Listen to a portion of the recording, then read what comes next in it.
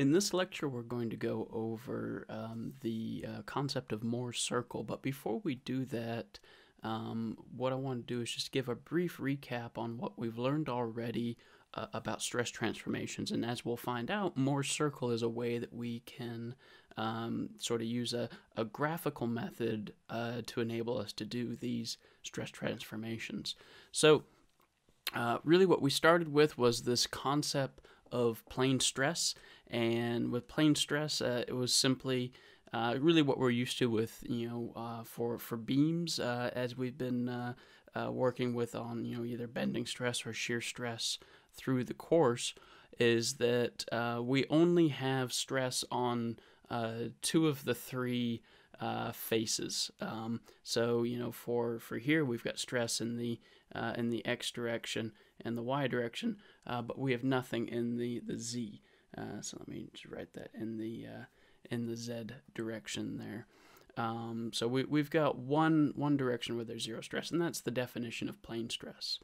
Um, we then learned uh, that you know for for plane stress, if we want to you know uh, really find out what is our um, uh, well we we looked at you know say uh, the difference between sort of these you know stresses in, in x and, and y um, but you know that's that's only so useful for us because uh, materials really break in, in tension or compression or shear. Uh, they don't break in, in x stress or y stress. So we need to have some means to uh, transform the stress state to find out well what are our our maximum and minimum um, normal stresses and our, our maximum uh, shear stress. And um, and so we we went through that and we found out that you know for uh, when we've got our maximum uh, normal stresses those are called our principal stresses uh, the angle that that occurs in is called the principal plane and uh, in this stress state there is no shear it's only uh, only tension compression, only only stress is acting normal to the surface. Um, and then uh, when we've got max shear stress, the normal stress which is acting on is really the average between x and y. Um, and we also found out that um, uh, the angle of our principal strain is 45 degrees away from the uh, angle at which our maximum shear stress occurs. Um, and, and how did we learn all of that? Well, we learned that with a, a whole series uh, of equations, uh, equations which uh, you know look like this. So there there's lots of um, so we, we can work out our, our principal stresses uh, with this one. We can work out our maximum shear stresses with this one. Uh, some things to note again, uh, if we work through the math, math again, we found that uh, at our principal stresses, uh, we had no shear stress. Uh, also, we found that, you know, for our maximum shear stress, if you work out you know, say uh, sigma 1, which is all of you know this plus uh, what's under the radical, um, minus sigma 2, which is this, minus what's under the radical. and divide all of that by 2, you find out that also is uh, equal to tau max. And so uh, that's that's kind of interesting. Um, and then we, we also found out that, you know, with, with uh, these equations that uh, at our maximum shear stress, um, the normal stress is just the average of our x and our y. Um, but you know, as I said, these these equations are are you know useful if we've got uh, a computer or we're, we're programming something. Um, but for you know our everyday use, they kind of stink. Uh, they're they're uh, they're they're kind of um, you know difficult to use. There's a, there's a lot of terms, um, and we want to find out well is there is there an easier way? Um, as engineers, we like uh, quick methods, which uh, we can do by hand. Um, and you know, one so that we can uh, we can quickly uh, you know estimate sizes and and if uh, our uh, material will fail or not. Um, as well as we've got we need a means to be able to check our, our computations uh, if, if we do use a computer so uh, we, we want to build a, a healthy um, you know skepticism uh, of of any um, you know uh, computation that we do because we can make an error and, and it can be garbage in garbage out so um, you know there is there is there an easier way to find out you know the these these stresses at which you know the material is actually going to fail um, be it in, in, in, tension and compression or in shear, uh, other than here. And, well, you know, spoiler is uh, yes, yes, there is. Uh, and it's called Mohr's Circle. So, Mohr's Circle uh, was developed by uh, uh, this man, Christian Otto Mohr. he was a German engineer um, in the 19th century. And so they didn't have a lot of, they didn't have computers in the 1800s. So he came up with, um, with this. And if, if you look at all of these equations, and you do a bit more uh, algebra and some a bit more rearranging, uh, you find out that actually they describe a circle in uh, sigma tau space. So it looks something uh, like this. So instead of x and y, well, now our, our coordinate system is um, sigma for our normal stress and uh, tau for our shear stress. Um, and um, all of these equations, you know, draw out this circle. Well, that's that's kind of nice. And and I've, I've written the sign convention over here for, you know, in, in sigma tension uh, is positive. So this is the uh, the tension side over here, and this is the compression side over there. Um, and then shear, it, it's uh, you know based upon you know what face you're looking at. Uh, if it makes the little block want to spin clockwise, it's positive. It wants to spin uh, anti-clockwise, it's negative. and then uh, the final thing is that all of the angles around here are um, are two theta, and and that's really because of um, the you know this relationship of of tan two theta for our uh, principal axes. So, all right, well that's a that's a circle. Uh, is that uh, uh, have, how how is this useful uh, to us, Lucas?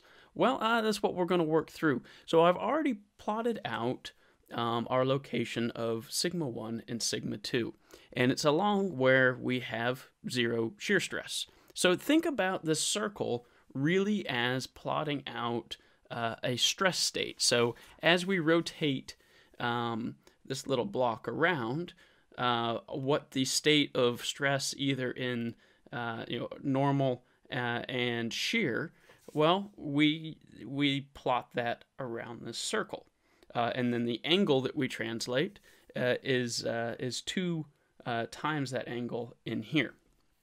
So the first two that we're looking at are really these uh, these principal stresses. So this is where uh, we have our maximum and our minimum uh, normal stress. So just here, um, and we have zero shear stress. So if I'm going to plot uh, the stress state um, uh, at this face at sigma one uh, and tau equal to zero, well, that's sigma one. We go over and plot tau equal to zero, and similarly here, sigma two and uh, tau equal to uh, zero. Just there. All right. Well, that's that's kind of nice. Uh, well, what what other relationships do we have? Uh, well, if we we look at um, tau max, well, tau max is going to be equivalent to sigma one minus sigma two uh, divided by two. So that's really just this uh, average here. And um, well, and that's that's kind of what we see uh, on the stress state. Well, our our uh, our, our average is is uh, is going to be uh, average um, uh, normal stress is is going to be uh, what our normal stress when we have our our maximum shear. So we know our maximum shear if we come and plot that up here. Well, that's going to be tau max, and, and right here in the middle um, is sigma average. And keep in mind that this sigma average is going to be the average, you know, really of any of these two points as we we move along the circle. Because if we've got a plot point here and a point here, well, the average, uh, think of it like the x uh, distance is going to be halfway in between. So on a circle, uh, the average, uh, you know, of any point 180 degrees is always uh, right there in the middle. So um, well, this is this is also kind of a neat thing. Uh, let's see. uh, what else? What else can we see just from from these equations uh, and how the circle is plotted out? Well, um, you know, we have that. Uh, you know, the uh, angle of our principal axis is 45 degrees away from the angle of our maximum shear. So, you know, this is you know the angle of our principal axis uh, to maximum shear. Well, if it's a circle, this is 90 degrees. But as I said over here, uh, because we're plotting everything in this sort of 2 theta uh, world, you know, all of our angles are doubled. So this distance here is 2 theta. And, you know, from uh, here to the top, well, that's, that's 90 degrees. 90 uh, equals 2 theta. And, um, well, that's if, if we divide up by 2, we get 45. So everything's still kind of, um, you know, coming together with how we, we've worked out the math. Um, and then the last thing we want to look at is if we, well, we've got a circle. Well, we know the, the center of our circle is going to be at uh, sigma average, and we know two points here uh, along the sort of, you know, tau equals zero. Well, the other important thing we want to know with a circle is its radius. And this radius, well, it's going to be the same distance as, you know, here to here um, or here to here, which is really tau average. So radius equals sigma 1 plus sigma 2 divided by 2. And those are some really nice relationships with this, you know, and and we've done we've done no math here uh, other than um, we we've gone back and we've uh, essentially you know using these relationships we've just plotted up some stress states that we know and this has been relatively quick. Um, but you know, the the question is well how do we you know this is this is all well and good if if you're already given sigma 1 sigma 2 um, but we're we're given states that look like this was some you know generic uh, stress in the x some in the y some in the tau and then you know we work through all these equations to find out what sigma 1, sigma 2, and, and tau max are. So how do we do that with uh, this circle? And I think that's probably best uh, done with an example. So uh, let's draw up this example. So let's say we've got a, a stress state. I'm just going to give a um, just some some arbitrary uh, stress state here. So we've got 60 MPa, 60 MPa,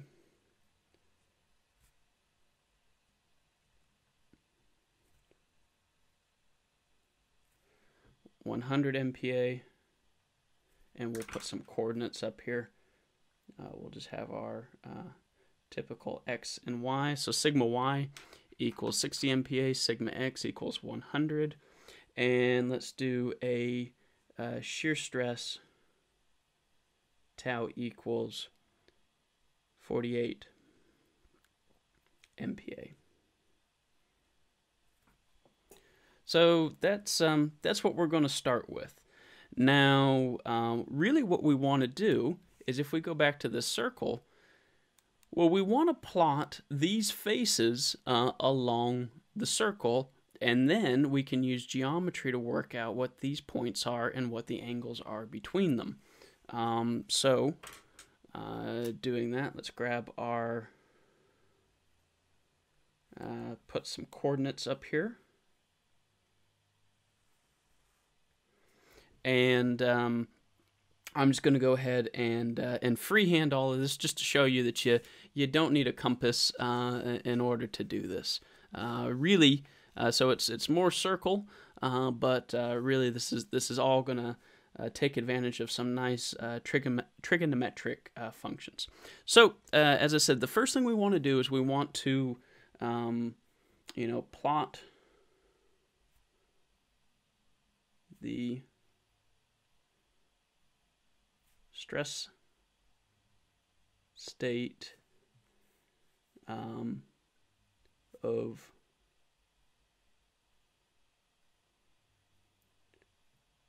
different faces in sigma tau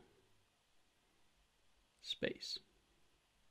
So this is our sigma and this is the tau, well, the first thing we want to do is well, let's plot uh, what the stress is in um, on on this face here. So um, think about this uh, analogous to x and y, but instead of x, we've got sigma, and instead of y, we've got tau. So, you know, this stress state uh, is really just going to get represented as a, a point here, and it's going to be a point um, going along the sigma axis, 100 MPa, and then going along the tau axis, going up uh, 48 MPa. And so I know this is going up uh, because based on the sign convention, uh, this tau wants to spin this block um, uh, clockwise while um, the uh, sigma is in tension. So what we do is we'll just put a little dot here and that's going to be at 100 MPa uh, comma 48 MPa. So as I, we we put our uh, point of 100 MPa uh, in the and that's in the sigma uh, direction and uh, uh, 48 MPa in the tau direction. So that's our uh, our first point. Now, if we go to an orthogonal face, well, we've got um, 60 MPa and 48 MP in our along the um, uh, sigma direction. So say we have a you know, 60. So that's our, our 100. So if we've got a, a 60 and then 48. And because it wants to spin the block uh, anti-clockwise, uh, just like here, uh, well, then we know that that's a, a negative, and so it'll get plotted um, down here. So uh, that's going to be our 60 MPa negative 48 MPa. Is that dot there. All right, well, in order to get the circle, well, we need to find the center of the circle. We saw up here that the center of the circle is going to be at sigma average. So, um, in order to find that, let's uh, let's just find the average between the two sigmas that we have. Um, so sigma av uh, just equals 100 plus 60 divided by 2. Our average equals 80 MPa. So if we come right here in the middle, so average equals 80 MPa. All right, well, now we, we have the center of the circle. In order to get the rest of the circle, we need to get our radius. And um, the easiest way to think about that is if we draw a line uh, between these, freehand, so it's not uh, quite straight. Um, but we know that this dot sits on the edge of the circle. So if we had it here, it would sit somewhere up, you know, here, and then we'd have uh, the other one sitting down there. And so we know it sits on the edge of the circle, so it has to be a distance uh, of the radius away from the center. Well, uh, the radius here, uh, we either can use that to find sigma 1 or sigma 2, uh, but we don't have sigma 1 sigma 2, so how else are we going to find the radius? And this is where we can use some uh, really uh, straightforward um, geometry. Well, we know uh, the distance that uh, this uh, point is up from here, from, from the sigma axis, and really what we have is a nice right triangle. And that right triangle looks like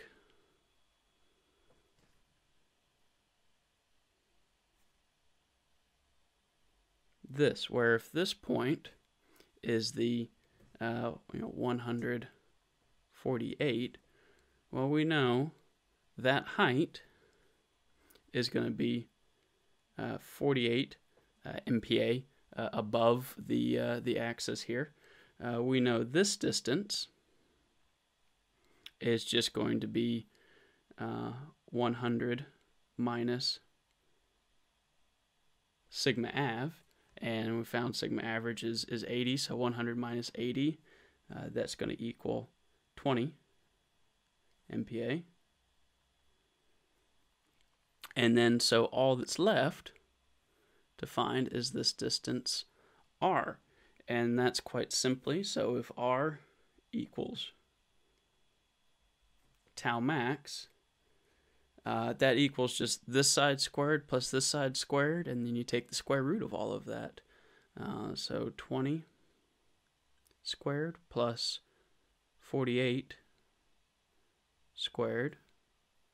Take the square root. We get tau max, and we'll just show that it's also still equal to r, uh, equals 52 MPa. So now we, we've got a, a number of, of points. So we can, uh, we know at 52 MPa, uh, right at sigma average, we have tau max equal to 52 MPa. And similarly, we'll have that uh, uh, down here on the bottom, 52 MPa. And then uh, because this is the radius, well, if we translate, if we just add uh, the radius to sigma average, well, we'll get sigma 1 and uh, sigma 2. So sigma 1, so sigma 1 equals sigma average plus r. Uh, that just equals 80 MPa plus 52 MPa sigma 1 equals 132 MPa. Uh, sigma 2 just equals uh, the uh, average stress um, minus R, uh, to go backwards, minus R equals 80 minus 52. Sigma 2 equals 28 MPa. And just remember that uh, just by convention, uh, these are both the principal axes, uh, principal stresses, and sigma two is the uh, the the uh, the smaller of the two. So if we've got sigma one equals 132, sigma two equals 28, and then I'll try to freehand this as uh, as best I can. I think I'm going to end up with more of a an egg shape. Um, but the circle itself matters less. It's these values uh, that we care about. But it's the fact that they trace out a circle is, what we are uh, we're taking advantage. But so you can see quite quickly uh, with, with no crazy uh, equations or or uh, uh, or any you know, really big, you know, trig identities, we found the average stress, the max shear stress, uh, and then our principal stresses, all from just a single stress state. So the only thing that's really left is for us to find out, well, what is this angle uh, that we have to rotate this block to either get to the uh, principal stresses. So this is going to be, you know, 2 theta pi, or uh, to go up to the uh, the maximum shear stress. So let's uh, let's work that out, and then we've we've figured out what the uh, the principal stresses are from from this uh, this stress state here, all working with just Mohr circle. So to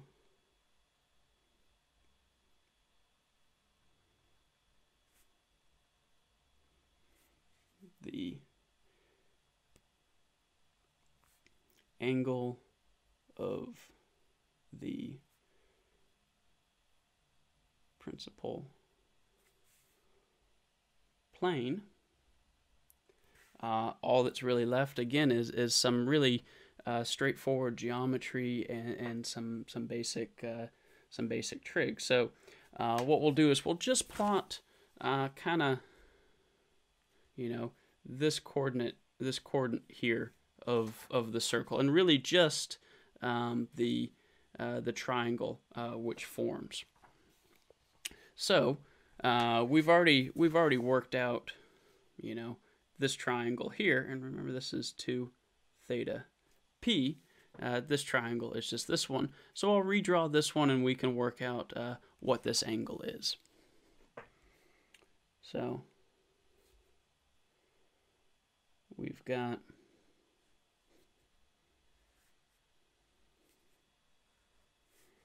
uh, we we worked out this distance was uh, 20 uh, this distance is 48, so a, a, little bit of a poor drawing on, on my part. And remember that this point was at you know, 148. Uh, this is 2 theta p, and you know we've got tau max up top, and this is 2 theta s. Um, and remember that with this is all just laying on the, uh, you know, principal axis of theta 1, uh, sigma 1, and sigma 2. And you've got sigma average there. So, um, in order to find out these angles, well, let's just take, you know, we know that the tangent of 2 theta p uh, is just going to be 48 uh, divided by 20.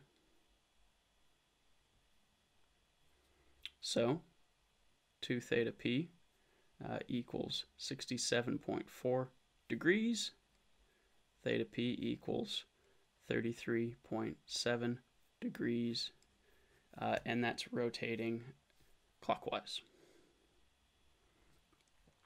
Um, if we want to find out, you know, what theta s is, well, we know that 90 plus 2 theta s plus 2 theta p um, equals zero. So um, that's the same as, well, actually, let's do it this way. Uh, we know that 90 degrees, this, this angle here, is going to be uh, 2 theta s plus 2 theta p.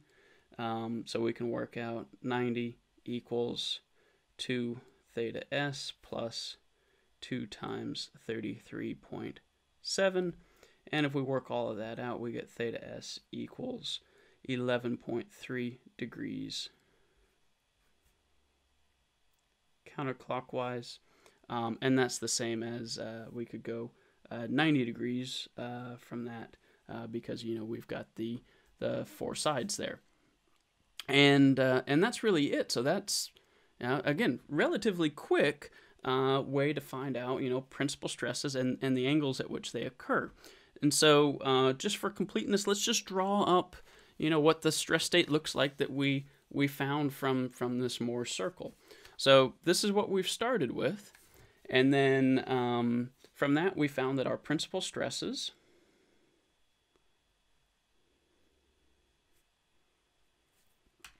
uh, is going to be at a an angle of 33.7 degrees and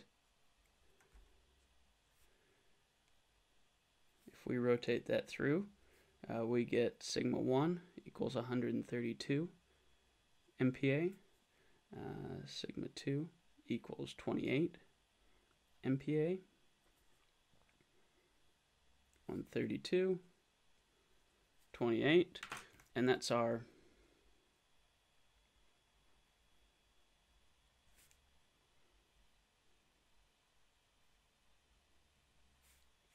That's our principal stresses. And then our uh, max shear stress.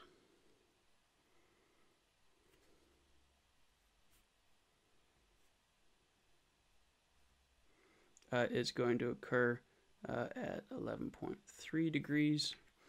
And that's going to be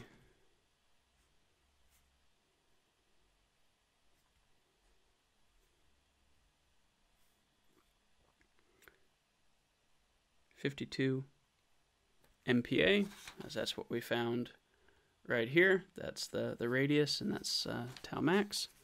Uh, 52 MPa, 52 MPa, that's tau max.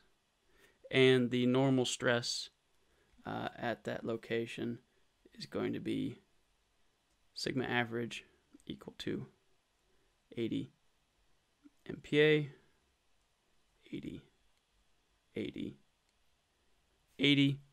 Um, and you can see that, you know, here and here. Uh, so, uh, and that's our, our maximum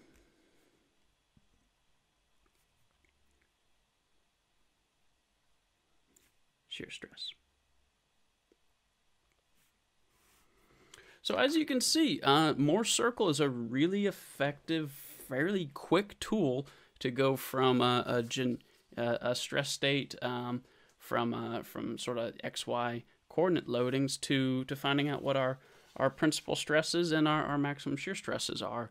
Um, really just using very basic geometry and uh, much much easier than using these these big uh, equations like this and so that means that we can uh, we can take advantage of this and, and um, uh, quickly look at what these stress states are and then compare them to failure criterion uh, and to determine whether a material is going to uh, break under a certain load or not. And so that's what we're going, that's ultimately what we're, we're working for uh, when we're doing this Mohr circle. So that concludes uh, this lecture on Mohr circle. I hope you found it useful. It's a really elegant tool.